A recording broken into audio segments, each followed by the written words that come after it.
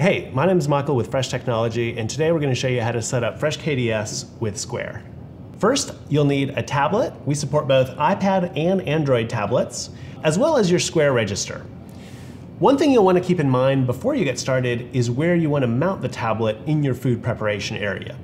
We support a variety of different mounting hardwares, but generally anything that will work with an Android or iPad tablet works great. We like RAM mounts, but you might want to talk to your hardware provider to find out what hardware works best for your operational situation. Now it's important to note that you can't run the FreshKDS app on Square, so you'll want to have a separate Android or iPad tablet to run FreshKDS on. Next, head to either the Google Play Store or the Apple App Store to download FreshKDS. From the App Store, just type in FreshKDS and search for it to find the FreshKDS app.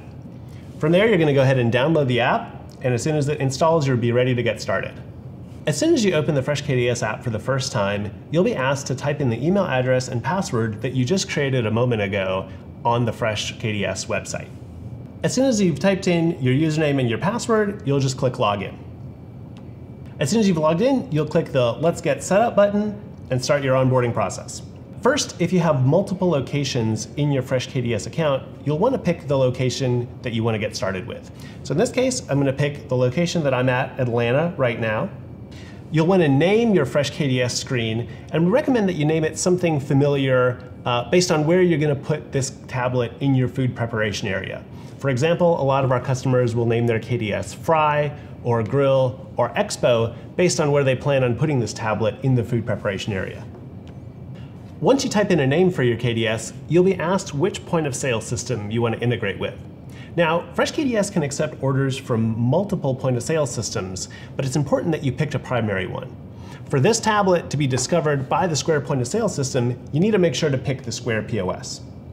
So in this case, we'll pick Square POS. FreshKDS also works with Square for restaurants, and we have two different options for those different point of sale systems. Next, you'll be asked which integration type you'd like to use. FreshKDS offers two integration types with Square. One type works over the internet using Square's Orders API. The other works locally across Square's local area connection. The Orders API is easier to set up. You just have to log into your FreshKDS or your Square account once. However, it doesn't support certain features like different order types, as well as the ability to work offline. If you work in an area that requires the different order types or have low internet connectivity reliability, we probably recommend that you pick the printer emulation mode. Don't worry, when you choose integration type, we'll walk you through a quick questionnaire to determine which integration type is right for you. Today we're going to set this up over the local network connection. Once you've configured FreshKDS, next we'll ask for some view settings. From here, you'll be able to choose whether you want FreshKDS to work in light or dark mode based on your kitchen aesthetics.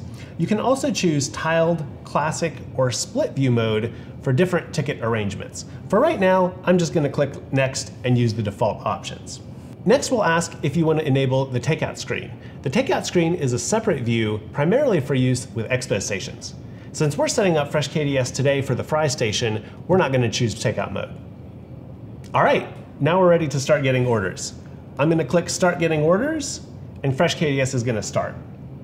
Now you'll see the setup instructions on the screen, but from here we'll want to transition setup from the FreshKDS tablet on this iPad or Android device to your Square register. In Square, we're going to set FreshKDS up as a printer. To do that, we're going to go to Settings, Hardware, printers, and we'll want to create a new printer station.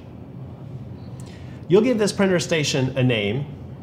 I recommend making it the same as the name that you've given the FreshKDS screen.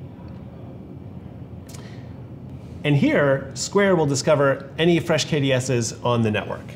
If it doesn't appear at first, you might want to check out some of our network troubleshooting steps in the help article linked below. Here you can see FreshKDS show up on the Square register. We can select it, and we can go ahead and click Print Test. When you print a test order, you'll see that order show up on your FreshKDS screen immediately. After you select your printer in Square, then you'll want to make sure to turn on the types of tickets that you'd like. In this case, we've turned on in-person ticket orders as well as online ticket orders. So we'll go ahead and save the settings to this printer station, and now FreshKDS is set up as a printer station in Square. Now when you print orders that match the criteria for this printer station, they'll show up on the FreshKDS tablet instantly. So let's go ahead and try that now. We'll come back to checkout and just ring out an order. In this case, we'll do a dark roast coffee. Let's make that medium with cream uh, and add a couple flavors to it. We'll go ahead and add this to our ticket. All right, so now you see the items here in the Square register. We're gonna go ahead and check out give this order a name, and finalize the transaction. Great, now that that order has gone through, you can see that same order here with the modifiers for each of those items on FreshKDS. That's it. Now if you want to clear orders from these screens, you can just tap the name at the top of the order to click it, and you can learn way more about how to set up FreshKDS and its more advanced options in our Help Center at help.freshkds.com. Thanks.